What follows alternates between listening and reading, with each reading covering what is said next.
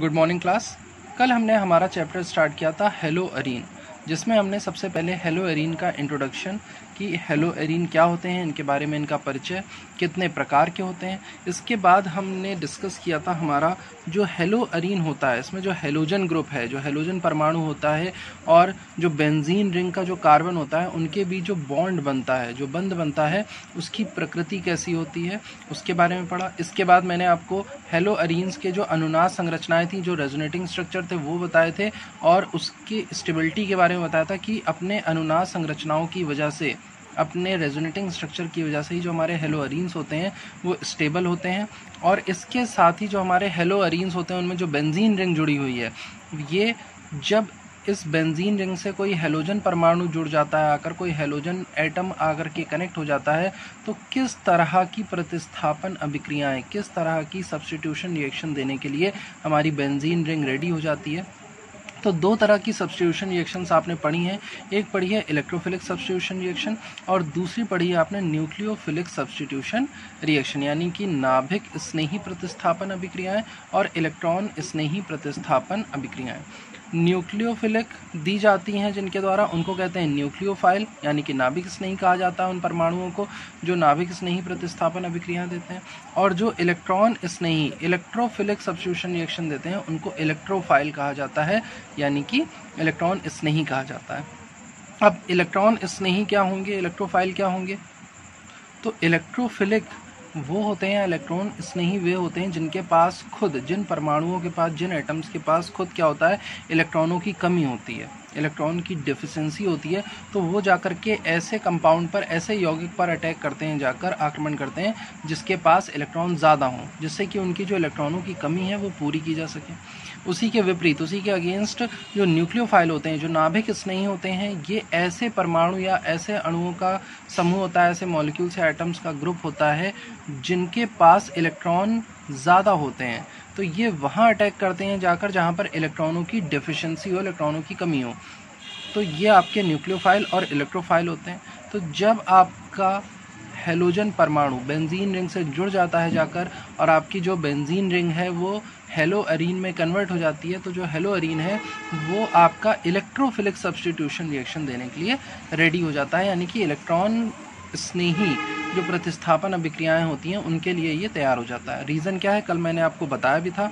और अगर नहीं समझ में आया था तो यहाँ पर देख लीजिए कि हेलोजन ग्रुप जुड़ जाने की वजह से जो बेंजीन रिंग होती है, उसके पहले तीसरे और पाँचवें। सॉरी ये दूसरा कार्बन होता है, दूसरे कार्बन में, चौथे कार्बन और छठे कार्बन।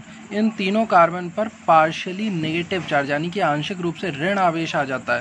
और जहाँ पर नेगेटिव चार्ज प्रेजेंट होता है, यानी कि उसके पास इलेक्ट्रॉन की क्या है? अधिकता है, इसके पास इलेक्ट्रॉन ज़्यादा है।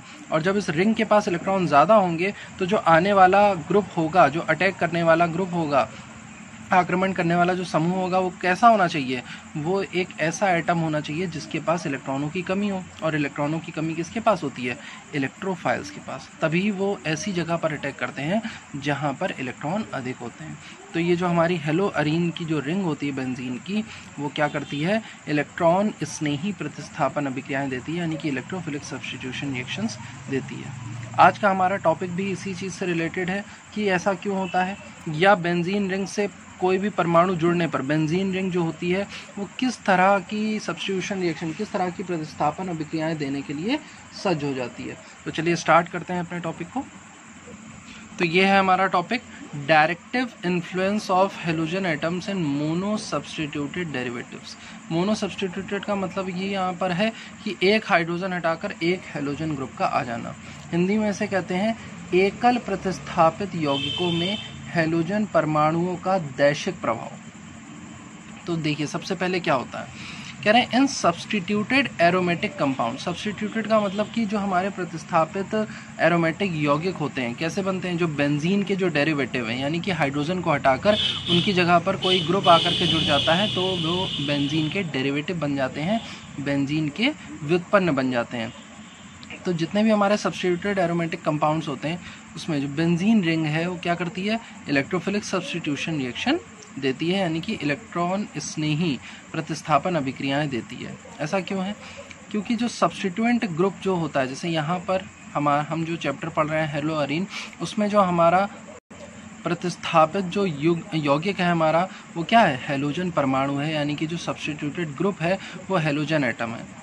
The reactivity of benzene ring and position of incoming electrophile in the ring these effects are known as activity effects and directive influence of substituent group तो हेलोजन एटम के जुड़ जाने की वजह से बेंजीन रिंग की रिएक्टिविटी पर, यानी कि उसकी क्रियाशीलता पर क्या प्रभाव पड़ेगा? और जो आने वाला इलेक्ट्रोफिलिक कंपाउंड होगा, जो इलेक्ट्रॉन स्नेही यौगिक होगा, जो आकर के आक्रमण करेगा बेंजीन रिंग पर, वो बेंजीन रिंग में कहाँ जुड़ेगा जाकर? यही कहलाता है एक्टिविटी इफ़ेक्ट और डायरेक्टिव इन्फ्लुएंस दोस्तों, देखिए, होता क्या है? तीन पॉइंट हैं, अगर ये तीन पॉइंट आपको समझ में आ गया तो आप अच्छे से कभी भी सब्सटीट्यूशन में गलती नहीं करेंगे। सबसे पहला point if substituted benzene ring gives electrophilic substitution more readily than unsubstituted benzene ring, then substituent group is activating group. कहने का मतलब है, यहाँ पर मैंने एक ये बेंजीन रिंग बना दी। ये आपकी नॉर्मल बेंजीन रिंग है और ये आपकी है एक ऐसी बेंजीन रिंग जिसमें कोई ग्रुप जुड़ा हुआ है। तो अगर आपकी जो सब्सटीट्यूटेड बेंजीन रिंग है, जो कि यहाँ पर ये वाला जो स्ट्रक्चर है, ये सब्सटीट्यूटेड बेंजीन रिंग का है अगर ये रिंग आपकी जो इलेक्ट्रोफिलिक सब्सटीट्यूशन रिएक्शन है, वो आसानी से दे रही है। किसके कंपैरिजन में? देन अनसब्सटीट्यूटेड बेंजीन रिंग इस बेंजीन रिंग के कंपैरिजन में अगर ये वाली जो ग्रुप जिसमें जुड़ा हुआ है बेंजीन रिंग में, वो क्या कर रही है? आसानी से इलेक्ट्रोफिलिक सब्सटीट्यूशन दे रही है। तो हम इस ग्रुप को क्या मानेंगे? कि ये ग्रुप कैसा है? एक्टिवेटिंग ग्रुप है। यानी कि ये हमारी रिंग को एक्टिवेट कर देता है एक्टिव कर देता है इलेक्ट्रोफिलिक सब्सटीट्यूशन रिएक्शंस के लिए स्टार्ट कर देता है।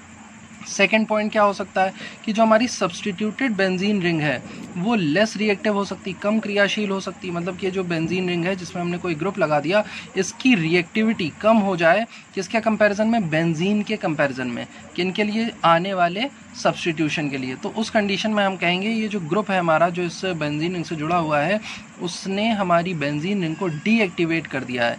तो इसलिए क्या कहलाएगा? डीएक्टिवेटिंग ग्रुप कहलाएगा।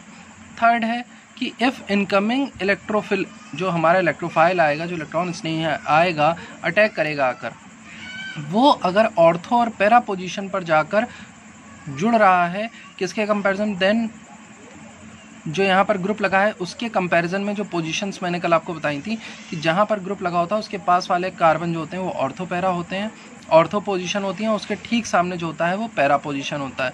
तो अगर आपका जो इलेक्ट्रॉन स्नेही परमाणु है जो इलेक्ट्रॉन लवर एटम है, यानी कि जो इलेक्ट्रोफाइल है, वो आकर अगर ऑर्थो पैरा पोजिशन पर अटैक करता है तो उस कंडीशन में हम कहेंगे कि ग्रुप क्या है?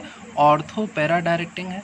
लेकिन अगर आपका इलेक्ट्रोफाइल जो आता है, वो आकर के मेटा पोजीशन पर जुड़ जाता है तो हम कहेंगे कि आपका जो ग्रुप है, जो आपकी बेंजीन रिंग से जुड़ा हुआ ग्रुप है, जो समूह है, वो क्या है? मेटा डायरेक्टिंग है। तो ये तीन पॉइंट आपको ध्यान में रखने हैं कि ग्रुप का आपकी रिंग पर क्या इफ़ेक्ट पड़ रहा है। ठीक है? अब हम बात करते हैं अपने हेलोजन परमाणु की, क्योंकि यहाँ पर जो हमारे चैप्टर में बेंजीन रिंग से जो ग्रुप जुड़ा हुआ है, जो समूह जुड़ा हुआ है वो है हेलोजन परमाणु। मैंने ये आपको इतना डीपली इसलिए एक्सप्लेन कर दिया क्योंकि आगे आपको जब फिनॉल पढ़ोगे आप तो वो भी एरोमेटिक है। इसके अलावा आप जब कीटोन में पढ़ोगे, आप जब एनिलीन पढ़ोगे, वो भी आपकी एरोमेटिक है। तो वहाँ पर भी जो ग्रुप जुड़े होंगे फिनॉल में अल्कोहल ग्रुप जुड़ा होगा एनिलीन में अमीन ग्रुप जुड़ा होगा बेंजीन रिंग से तो वो क्या प्रभाव डालेंगे आपकी बेंजीन रिंग पर, वो भी उन्हीं तीनों पॉइंट से क्लियर होगा। तो अब हम स्टार्ट करते हैं कि हमारा जो हेलोजन ग्रुप जुड़ा हुआ है, उसका क्या इफ़ेक्ट है? तो कह रहे हैं halogen atom attach to benzene ring creates two effect halogen atom जो हेलोजन परमाणु जुड़ा है, उसके दो प्रभाव होते हैं हमारी बेंजीन रिंग पर। एक प्रभाव होता है प्लस एम इफ़ेक्ट इसको कहते हैं मेजोमेरिक इफ़ेक्ट आपको इसे प्लस एम इफ़ेक्ट से, प्लस एम प्रभाव से याद रखना है। हिंदी वाले प्लस एम प्रभाव से, इंग्लिश वाले प्लस एम इफ़ेक्ट से इसे याद रखेंगे। क्या होता है ये प्रभाव? देखिए this effect arises due to participation of lone pair of electron of halogen atoms in resonance with pi electrons of benzene ring it increases the electron charge density on the ring ये effect तब produce होता है जब जब आपकी benzene ring जो थी यहाँ, इस तरह से जो बेंजीन रिंग थी, इसमें जो हेलोजन परमाणु, जो एक्स परमाणु जुड़ा होता है, ये आप यहाँ पर साइड में देख सकते हैं, जो हमारा हेलोजन परमाणु है, उसके इलेक्ट्रॉन जब आकर के बेंजीन रिंग में पार्टिसिपेट करते हैं, यानी कि रिंग में एंटर कर जाते हैं रिंग में प्रवेश कर जाते हैं तो उनकी वजह से रिंग पर क्या आ जाता है? आंशिक रूप से ऋण आवेश ये यहाँ पर दिखाया गया था। आंशिक रूप से ऋण आवेश आ जाता है और हेलोजन परमाणु पर आंशिक रूप से धन आवेश आ जाता है। तो इस इफ़ेक्ट को प्लस एम इफ़ेक्ट कहा जाता है। तो प्लस एम इफ़ेक्ट की वजह से क्या हुआ कि बेंजीन रिंग पर जो इलेक्ट्रॉन की डेंसिटी थी इलेक्ट्रॉन का जो घनत्व था, वो बढ़ जाता है। क्यों? क्योंकि हेलोजन परमाणु के भी जो इलेक्ट्रॉन थे, वो किसके पास चले जाते हैं? बेंजीन रिंग के पास चले जाते हैं। तो ये प्रभाव कहलाता है प्लस एम इफ़ेक्ट या प्लस एम प्रभाव। और इस प्लस एम प्रभाव की वजह से जो नेगेटिव चार्ज आता है, जो ऋण आवेश आता है रिंग में, वो किन किन स्थानों पे आता है? तो दो स्थानों पे आता है ऑर्थो और पैरा पोजिशन पर देखिए, लिखा भी है यहाँ पर ऑन द की इलेक्ट्रॉन जो डेंसिटी होती है, वो रिंग में बढ़ जाती है and this increase charge density appears at ortho para position किस पोजिशन पर? ऑर्थो और पैरा पोजिशन पर ये दिखाई देती है। That is why ortho para positions are preferred attacking sides for incoming electrophile. इसीलिए अब जो इलेक्ट्रोफाइल आएगा, जो इलेक्ट्रॉन इसने ही आएगा, वो जा करके ऑर्थो और पैरा पोजिशन पर, ऑर्थो और पैरा स्थान पर जाकर बेंजीनिंग में जुड़ जाते हैं, क्योंकि वही स्थान है हमारे जहाँ पर इलेक्ट्रॉनों की अधिकता होती है, इलेक्ट्रॉन्स ज़्यादा पाए जाते हैं। तो एक इफ़ेक्ट हो गया हमारा प्लस एम इफ़ेक्ट दूसरा इफ़ेक्ट होता है माइनस आई इफ़ेक्ट जो कि इसका ठीक उल्टा होता है, जो कि हमारे प्लस एम इफ़ेक्ट का प्लस एम प्रभाव का ठीक उल्टा होता है। इसमें क्या होता है? It arises due to high electronegativity of halogen atoms resulting is an overall decrease in electron charge density on benzene जो माइनस आई इफ़ेक्ट यहाँ पर आप देख रहे हैं, आई इफ़ेक्ट जो होता है इंडक्टिव इसे कहते हैं इंडक्टिव इफ़ेक्ट ये दो प्रकार का होता है, एक होता है प्लस आई इफ़ेक्ट एक होता है minus I effect minus I effect में क्या होता है कि अगर आपकी बेंजीन रिंग से कोई ऐसा परमाणु जुड़ा है, जिसकी विद्युत ऋणात्मकता, यानी कि इलेक्ट्रोनेगेटिविटी हाई है तो इलेक्ट्रोनेगेटिव एलिमेंट क्या करते हैं? कहीं से भी इलेक्ट्रॉन को अपनी तरफ़ आकर्षित करते हैं। तो यहाँ पर जो हेलोजन आइटम है, ये भी क्या करेगा? ये भी बेंजीन रिंग के पास जो डब हमारे पाई इलेक्ट्रॉन पाए जाते हैं, जो इलेक्ट्रॉन पाए जाते हैं, उनको अपनी तरफ़ आकर्षित करता है। अब देखिए प्लस एम इफ़ेक्ट क्या कह रहा था? कि हेलोजन परमाणु के पास जो ये इलेक्ट्रॉन पेयर पाए जाते हैं, ये बेंजीन में एंटर कर जाते हैं, जिसकी वजह से बेंजीन रिंग पर नेगेटिव चार्ज आ जाता है, यानी कि ऋण आवेश आ जाता है। और माइनस आई इफ़ेक्ट क्या कह रहा है? कि अगर बेंजीन रिंग से कोई ऐसा परमाणु जुड़ा है, कोई ऐसा आइटम कनेक्टेड है, जो इलेक्ट्रोनेगेटिव है, जो विद्युत ऋणात्मक है तो वो क्या करेगा? बेंजीन रिंग से इलेक्ट्रॉन खींच लेगा, अपनी तरफ़ आकर्षित करेगा। ये इनकी क्षमता होती है, इनकी टेंडेंसी होती है। तो इसकी वजह से बेंजीन रिंग पर इलेक्ट्रॉनों का घनत्व क्या होने लगता है? धीरे धीरे कम होने लगता है। तो it arises due to high electronegativity of halogen atoms resulting is an overall decrease in electron charge density on benzene ring this effect makes benzene ring less available for attack of electrophile तो जब हमारी benzene ring में से electron का घनत्व तो कम हो जाएगा इलेक्ट्रॉन की डेंसिटी कम हो जाएगी तो अब जो इलेक्ट्रोफाइल है वो आसानी से अटैक नहीं कर पाएगा, क्योंकि इलेक्ट्रोफाइल जो होते हैं, जो इलेक्ट्रॉन नहीं होते हैं, वो वहाँ जाकर आक्रमण करते हैं, जहाँ पर इलेक्ट्रॉनों की अधिकता हो। लेकिन हेलोजन परमाणु की वजह से बेंजीन पर इलेक्ट्रॉन का जो घनत्व है, जो डेंसिटी है, वो कम हो जाती है। तो इलेक्ट्रोफाइल आसानी से अटैक नहीं कर पाएँगे। तो देखिए, दो चीज़ें हुई। इसकी वजह से हेलोजन एटम क्या करेगा? एक डीएक्टिवेटिंग ग्रुप बन जाएगा। लेकिन, अब आप कहेंगे कि सर प्लस एम इफ़ेक्ट भी लग रहा है प्लस एम प्रभाव भी लग रहा है माइनस आई प्रभाव भी लग रहा है। तो यहाँ पर क्या फाइनली क्या रिज़ल्ट निकला? तो फाइनली रिज़ल्ट ये निकलता है क्योंकि जो प्लस एम इफ़ेक्ट होता है, जो प्लस एम प्रभाव होता है supersedes over minus I effect उसका जो प्रभाव होता है प्लस एम का इफ़ेक्ट जो होता है, वो माइनस आई इफ़ेक्ट से ज़्यादा होता है। इस वजह से जो हेलोजन एटम होते हैं, वो ऑर्थोपैरा डायरेक्टिंग माने जाते हैं। यानी कि इनकी वजह से हमारी बेंजीन रिंग पर ऑर्थो और पैरा पोजीशन पे आंशिक रूप से ऋणावेश आ जाता है, जिसकी वजह से जो हमारी रिंग है, वो ऑर्थो पैरा पोजिशन डायरेक्टिंग बन जाती है और हमारे इलेक्ट्रोफाइल आ करके इस पोजीशन पर अटैक कर सकते हैं। तो ये जो आपने कॉन्सेप्ट पढ़ा, ये बहुत इंपॉर्टेंट कॉन्सेप्ट था। इसको याद रखेंगे, पूरे जो आपने हेलो अरीन पढ़नी है, उसमें यही मेन टॉपिक है। इसके अलावा आप आगे कुछ भी पढ़ेंगे, वो इतना इंपॉर्टेंट नहीं है बट ये जो तीन टॉपिक थे आपके, वो बहुत इंपॉर्टेंट थे। अब मैं ऐसे ही हिंदी में एक्सप्लेन करने जा रहा हूँ तो आप लोग देख लीजिए हिंदी में इसका एक्सप्लेनेशन तो सबसे पहले तो मैं ये बता दूँ कि हमें आखिर पढ़ना क्या है। हमें पढ़ना है, जो हमारे एकल प्रतिस्थापित यौगिक होते हैं एरोमेटिक में उनमें जो हेलोजन परमाणुओं का दैशिक प्रभाव क्या पड़ेगा? यहाँ पर में नहीं है, ये सिर्फ़ है एकल प्रतिस्थापित यौगिकों में हेलोजन परमाणुओं का दैशिक प्रभाव। यानी कि जो बेंजीन रिंग है आपकी, इसमें एक हाइड्रोजन को हटा करके उसकी जगह जब कोई हेलोजन परमाणु आकर कनेक्ट हो जाएगा इस तरह से तो ये हेलोअरीन बन जाएगी। और इस हेलोजन परमाणु का, इस बेंजीन रिंग पर क्या दैशिक प्रभाव पड़ेगा, इसके बारे में ही हमें पढ़ना है। तो सबसे पहले देखिए जो प्रतिस्थापित एरोमेटिक यौगिक होते हैं तो प्रतिस्थापित एरोमेटिक यौगिकों में बेंजीन नाभिक मुख्यतः इलेक्ट्रॉन स्नेही प्रतिस्थापन अभिक्रियाएँ देता है। जितने भी ग्रुप आकर के जुड़ते हैं हमारी बेंजीन से, उस, उन सारे ग्रुप की वजह से, उन सारे समूहों की वजह से जो बेंजीन होती है वो कैसी अभिक्रियाएँ देती है? इलेक्ट्रॉन स्नेही प्रतिस्थापन अभिक्रियाएँ देती है। इसका मतलब क्या है? इनमें उपस्थित जो समूह है, जो ग्रुप है, जो यहाँ पर सब्सटीट्यूट ग्रुप एक्स जो हम लाए अपनी बेंजीन रिंग में तो इनमें उपस्थित समूह प्रतिस्थापन करने वाले इलेक्ट्रॉन स्नेही की स्थिति तथा बेंजीन नाभिक की क्रियाशीलता को प्रभावित करता है। जो बेंजीन रिंग से यहाँ पर कनेक्टेड जो एक्स का परमाणु होगा, इस तरह से जो बेंजीन रिंग हमारी होती है, इससे जुड़ा हुआ है जो एक्स परमाणु है, ये परमाणु क्या करेगा? ये परमाणु सबसे पहले तो बेंजीन रिंग की क्रियाशीलता को प्रभावित करेगा, यानी कि या तो इसको ज़्यादा क्रियाशील बना देगा या कम क्रियाशील बना देगा। दूसरी चीज़ कि बाहर से आने वाला जो इलेक्ट्रोफाइल, जो इलेक्ट्रॉन स्नेही होगा, इलेक्ट्रॉन स्नेही कौन? जिसके पास खुद इलेक्ट्रॉन की कमी हो, यानी धन आवेशित आयन हो। तो जब आकर के कोई इलेक्ट्रोफाइल बेंजीन रिंग पर अटैक करेगा तो बेंजीन में छः कार्बन होते हैं। उन छः कार्बन में से ये इलेक्ट्रॉन स्नेही जो परमाणु होगा, ये कहाँ आकर जुड़े? इस बात को भी कौन तय करता है? जो आपका एक्स है, जो हेलोजन परमाणु है। अब ये किस तरह से करता है तो उसके लिए आपको तीन पॉइंट याद रखने सबसे पहला, यदि क्रिया बेंजीन नाभिक की तुलना में आसानी से हो जाए, जो इलेक्ट्रॉन स्नेही प्रतिस्थापन अभिक्रिया है, अगर वो बेंजीन नाभिक की तुलना में आसानी से हो जाए तो जो आपका ग्रुप होगा, जो समूह होगा, वो कैसा होगा? सक्रियता वर्धक भाई ज़ाहिर सी बात है कि ये क्या कर रहा है? ये अभिक्रिया को आसानी से करवा रहा है तो ये हमारे जो बेंजीन की जो रिंग है, उसको क्या कर देगा? सक्रिय कर देगा। लेकिन, यदि क्रिया बेंजीन नाभिक की तुलना में कठिनता से हो, अगर जो अभिक्रिया है, इलेक्ट्रॉन स्नेही प्रतिस्थापन अभिक्रिया, वो कठिनता से हो तो आपका जो समूह होगा, वो कैसा होगा? सक्रियता नाशक समूह माना जाएगा। यानी कि ये बेंजीन रिंग की सक्रियता को कम कर देगा।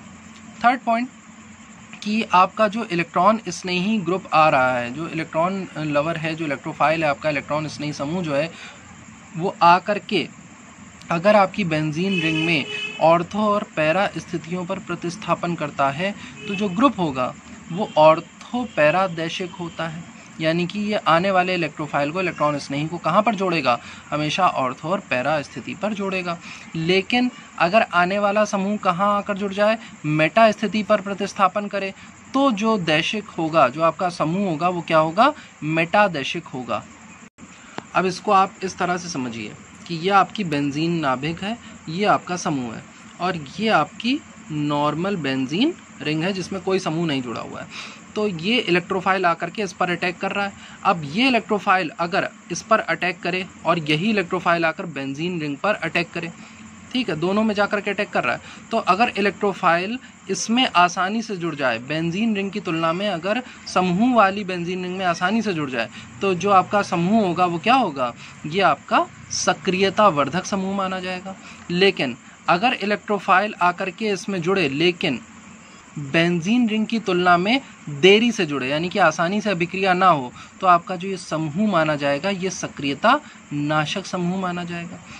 थर्ड पॉइंट कि ये इलेक्ट्रोफाइल आकर के अगर ये होती है ऑर्थो पोजीशन ये दोनों पोजीशन जहाँ पर समूह जुड़ा होता है, उसके ठीक बगल वाले जो कार्बन होते हैं, वो होते हैं ऑर्थो पोजीशन ऑर्थो स्थान माना जाता है, उसके ठीक सामने वाला स्थान माना जाता है, पैरा स्थान। तो ये इलेक्ट्रोफाइल आकर अगर इन तीनों स्थानों में से किसी एक स्थान पर जुड़ रहा है तो इसे ऑर्थो पैरा दैशिक माना जाता है। लेकिन यहीं ये इलेक्ट्रोफाइल आकर के बचे हुए दो स्थान, जो कि कहलाते हैं मेटा स्थान एम ये याद रखिएगा, समूह के ठीक सामने पैरा, समूह के ठीक बगल में ऑर्थो और बचे हुए दो कार्बन जो होते हैं वो मेटा होते हैं। तो ये इलेक्ट्रो इलेक्ट्रोफाइल आकर इलेक्ट्रॉन स्नेही अगर मेटा पोजिशन पर मेटा स्थिति पर आकर जुड़ जाए तो आपका जो समूह होगा वो क्या होगा? मेटा दैशिक माना जाएगा। ये इन तीन पॉइंट्स में एक्सप्लेन किया गया है। ये तो हो गई बात बेंजीन रिंग में किसी भी समूह के जुड़ने पर। लेकिन हमारा जो टॉपिक है वो तो हेलो एरिन है, जिसमें हमारी बेंजीन रिंग से क्या जुड़ रहा है? एक हेलोजन परमाणु जुड़ रहा है। तो हेलोजन परमाणु के जुड़ने पर बेंजीन रिंग पर क्या प्रभाव पड़ेगा? तो कह रहे हैं दो प्रभाव पड़ते हैं। एक पहला प्रभाव होता है प्लस एम प्रभाव और दूसरा होता है माइनस आई प्रभाव। प्लस एम प्रभाव क्या कहता है कि जब बेंजीन रिंग से कोई हेलोजन परमाणु जुड़ जाता है तो हेलोजन परमाणु, जितने भी हेलोजन परमाणु होते हैं, क्लोरीन, फ्लोरीन, ब्रोमीन, आयोडीन, इन सबके पास तीन इलेक्ट्रॉन जो होते हैं, तीन इलेक्ट्रॉन के पेयर जो होते हैं, ये क्या कर सकते हैं, किसी को भी दे सकते हैं। तो हेलोजन परमाणु के ये तीन इलेक्ट्रॉन पेयर में से एक इलेक्ट्रॉन का पेयर जो है, वो रिंग में एंटर कर जाता है। रिंग में प्रवेश कर जाता है, बेंजीन की रिंग में प्रवेश करता है, जिसकी वजह से कल मैंने आपको एक्सप्लेन किया था कि बेंजीन रिंग में तीन पोजीशन तीन स्थानों पर, ये दोनों स्थान जो ऑर्थो स्थान है और जो पैरा स्थान है ऑर्थो और पैरा स्थानों पर आंशिक रूप से जो ऋण आवेश है, वो आ जाता है।